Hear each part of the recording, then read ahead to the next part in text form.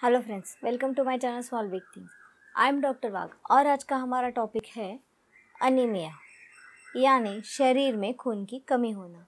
इसके लक्षण है दोस्तों, सांस फूलना, थकावट महसूस होना, सर भारीपन लगना चेस्ट पेन होना, कुछ करने में मन न लगना, हर बार नींद आ रही है ऐसे लगना स्किन का पेल दिखना पॉटी में खून जाना, डल दिखना, ये सारे लक्षण अनीमिया के व्यक्ति में दिख सकते हैं।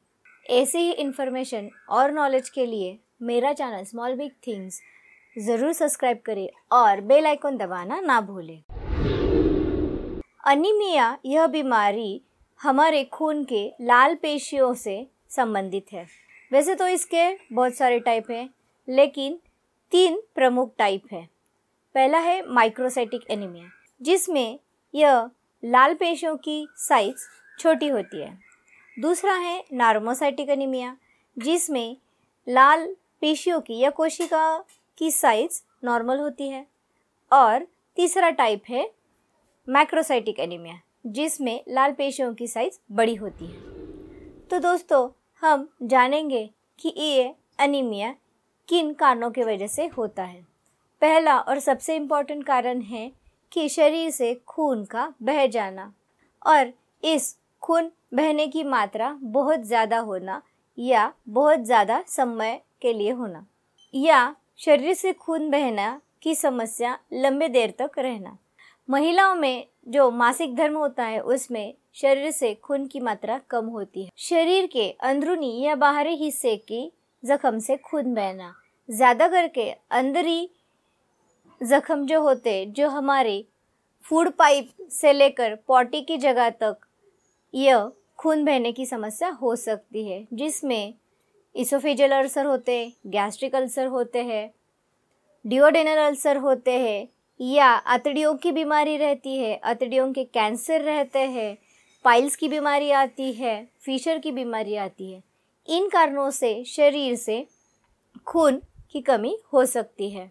दूसरा और इंपॉर्टेंट कारण है दोस्तों, शरीर में आयन की, यानी लोह की मात्रा कम होना। अगर किसी व्यक्ति के खाने में आयन की मात्रा बराबर से नहीं जा रही है, या खाने से आयन की मात्रा बराबर जा रही है, लेकिन उसके शरीर में डाइजेशन के कुछ प्रॉब्लम है और उस प्रॉब्लम की वजह से यह आयन शरीर में एब्सॉर्ब नहीं होता तो उसे आयरन डेफिशिएंसी अनीमिया कहते हैं।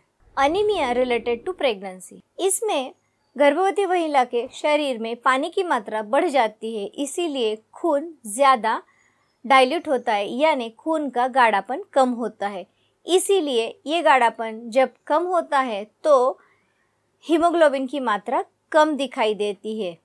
आगे का कारण है दोस्तों anaemia due to poor nutrition यानी कि न्यूट्रिशन में खान पान में कुछ प्रॉब्लम है तो उससे होने वाला अनीमिया इसमें बहुत सारे विटामिन्स आते हैं मिनरल्स आते हैं आयरन आता है और विटामिन बी ट्वेल्व आता है फोलिक एसिड आता है।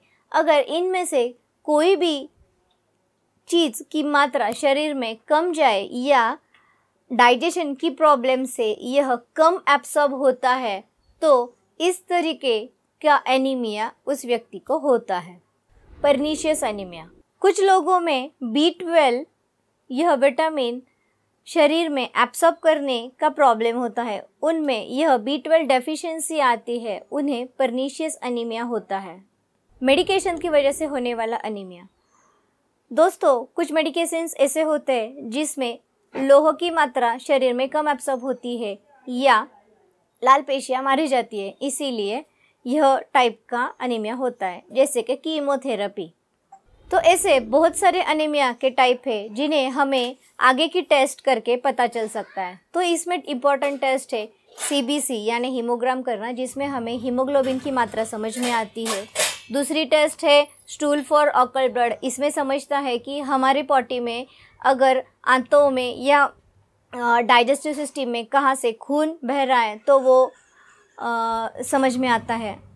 आगे के टेस्ट हैं जैसे कि एच बी इलेक्ट्रोफोरोसिस फेरेटिन की मात्रा चेक करना फॉलिक एसिड की मात्रा चेक करना विटामिन बी ट्वेल्व की मात्रा चेक करना लीवर फ़ंक्शन टेस्ट करना जिसमें समझता है कि लीवर ठीक से काम करता है या नहीं किडनी फ़ंक्शन टेस्ट करना जिसमें समझता है कि किडनी को कुछ बीमारी है तो एरिथ्रोपोएटिन सिक्रेट होने में कुछ प्रॉब्लम आती है क्या।